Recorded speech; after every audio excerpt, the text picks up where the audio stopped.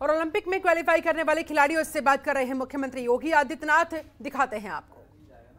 खिलाड़ी जो हैं वो टोक्यो अब जाने वाले हैं। इनमें से कुछ खिलाड़ी अभी विदेश में ही हैं, कुछ खिलाड़ी हमारे प्रदेश में हैं। और माननीय मुख्यमंत्री को मैं ये भी अवगत कराना चाहूँगा कि इन सबों, सभी के अभिभावक भी आज जुड़े हुए हैं। जो लोग विदेश में उनके अभिभावक यहाँ प्रदेश में वो भी जुड़े हुए हैं।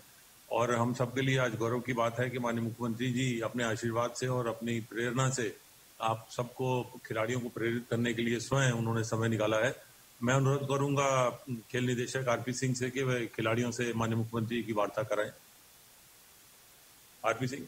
मैं इस अवसर पे माननीय मुख्यमंत्री जी का खिलाड़ियों की तरफ़ से, पूरे प्रदेश के खिलाड़ियों की तरफ़ से हार्दिक स्वागत, अभिनंदन, वंदन करता हूँ। क्योंकि माननीय मुख्यमंत्री जी ने समय समय पे निर्देश दिए हैं कि हमारे प्रदेश के जो खिलाड़ी हैं, उनके सम्मान में कोई कमी ना आए तो मैं ये बताना चाहूँगा इस मौके पे कि सबसे ज़्यादा अगर स्वर्ण पदक पे धनराज की बात होती है तो उत्तर प्रदेश का पहला उत्तर प्रदेश राज्य है।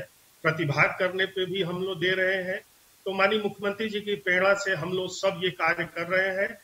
तो मैं एक एक करके जो सभी हमारे प्रदेश के जो 10 उत्कृष्ट खिलाड़ी प्रतिभाग करने जा रहे हैं, मैं उनमें से एक एक करके चूँकि हमारी जो महिलाएँ हैं, जो हमारे प्रदेश का और देश का प्रतिनिधित्व करने जा रही हैं बहुत हर्ष का विषय है।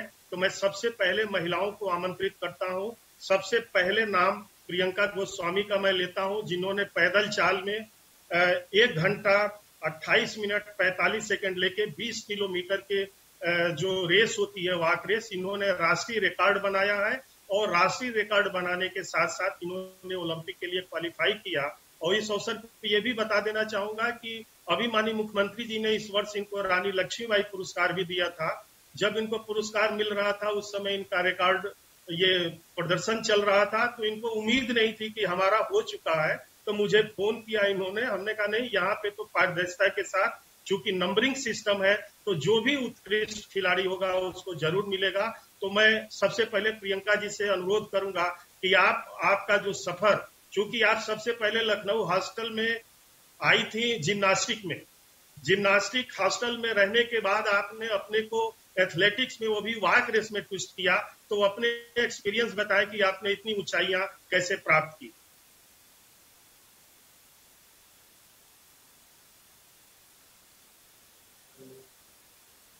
अनम्यूट कर लीजिए अनम्यूट कर लीजिए। प्रियंका अनम्यूट हाँ बोल नमस्ते माननीय मुख्यमंत्री जी। नमस्ते। जैसा कि सर ने बताया मैं केडी सिंह बाबू हॉस्टल में रहती थी जब मैं 12 साल की थी। तो उस टाइम मेरा उधर मन नहीं लगा था। मम्मी पापा की बहुत याद आती थी। घर से दूर थी। तो मैं वहाँ से रो रो के घर पे आ गई कि मुझे यहाँ नहीं रहना है करके।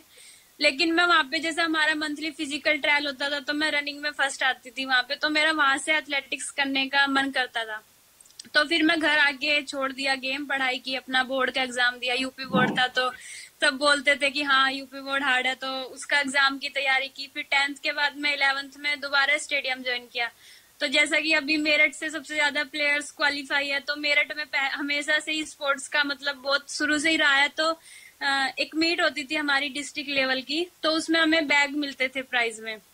तो मैंने काफ़ी इवेंट्स ट्राई किए तो आ, मुझे किसी में बैग नहीं मिला। तो लास्ट में रेस वॉकिंग बचा था तो मेरे को बहुत दुख हो रहा था कि मुझे कोई बैग नहीं मिला सबको बैग मिला करके। तो रेस वॉकिंग में चार लड़कियाँ थी फोर्थ में थी मतलब उनमें मैं थर्ड आ गई तो बैग मिला। तब से मेरे को बैग के लिए ही मैंने रेस वॉकिंग शुरू कर दिया।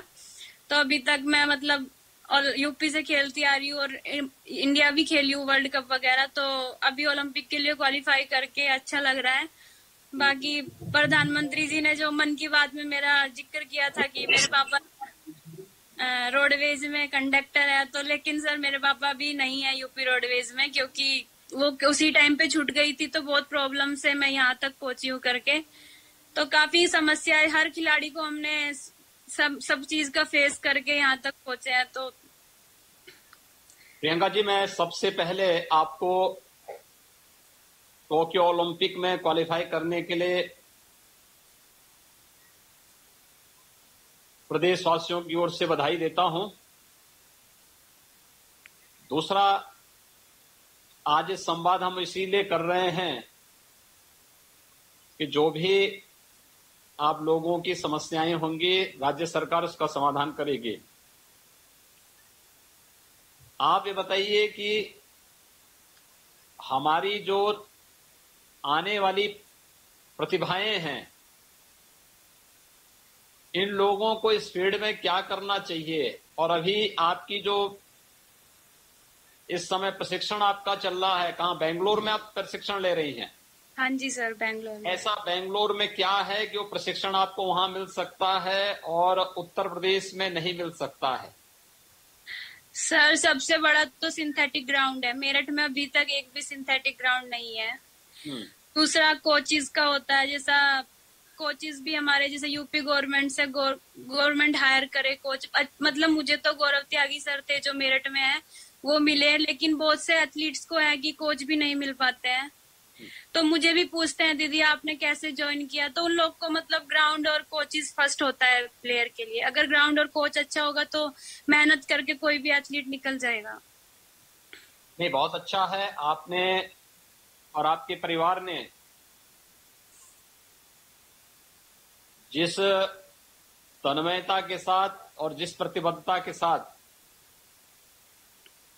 इस फ़ील्ड में अपना एक स्थान बनाया है। वो बहुत सराहनीय है, अभिनंदनीय है। मैं आपको और आपके पूरे परिवार के सदस्यों को इसके लिए हृदय से बधाई देता हूँ, शुभकामनाएँ देता हूँ और राज्य सरकार आप लोगों को पूरी मदद करेगी। मैं खेल विभाग को इसके बारे में कहूँगा कि वह सभी खिलाड़ियों की बातों को सुने और फिर उस प्रकार की कार्य योजना बना करके राज्य के अंदर तैयार करें, जिससे हमारे खेल प्रतिभाओं को आगे बढ़ने का अवसर भी प्राप्त हो सके और यहीं पर उनको हर प्रकार की सुविधा देकर के हम राष्ट्रीय और अंतर्राष्ट्रीय प्रतिस्पर्धाओं के योग्य बना सकें। आपके लिए मेरी पूरी शुभकामनाएँ हैं। थैंक यू सर सर एक और था कि जैसा हमारी पॉलिसीज़ है, वो काफ़ी टाइम से मतलब हम अच्छी है हम नहीं बोल रहे कि बेकार है लेकिन ओलंपिक्स की तो ठीक है और लेकिन आगे next year Commonwealth Games Asian Games आ रहे हैं तो उनकी पॉलिसी और अगर हम दूसरे स्टेट की देखें हरियाणा की देखें तो सर बहुत डाउन आप एक बार उसके लिए भी मीटिंग हो तो अच्छा है क्योंकि आप लोग अपना प्रस्ताव बना के भेजिए ज़रूर राज्य सरकार उस पर ज़रूर विचार करेगी। ठीक है। सर इनकी माता जी और पिताजी हैं। मैं उनसे अनुरोध करूँगा कि वो सर आपका आशीर्वाद उनको मिलना चाहिए। मुझे एक दिन उनके सभी खिलाड़ियों के अभिभावकों को लखनऊ बुला करके सम्मानित करना है। सर सर अच्छा होगा कि लखनऊ में बुला करके उनके साथ सीधे वहीं पर संवाद बनाएँगे और उनका सम्मान भी करेंगे। ठीक है सर। दूसरी हमारी जो जेवलिन थ्रोअर है इंडिया की बेस्ट जेवलिन थ्रोअर इस समय अनुरानी जी हैं।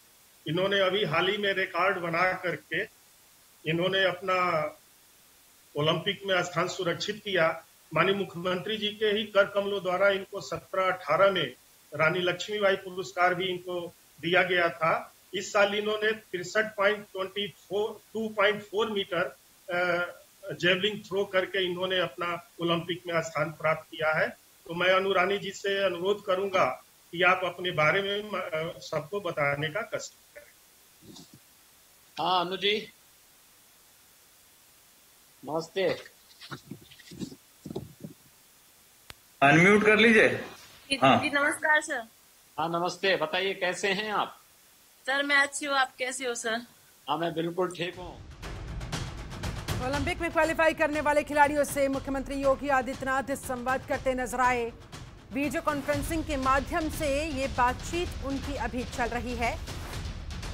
तमाम खिलाड़ी वीडियो कॉन्फ्रेंसिंग के ज़रिए जुड़े हुए हैं।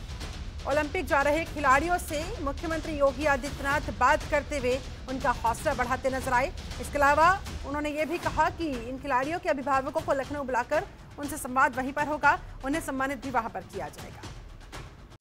खबरों के निष्पक्ष विश्लेषण के लिए सब्सक्राइब करें Jantantra TV and press the bell icon. Never miss any update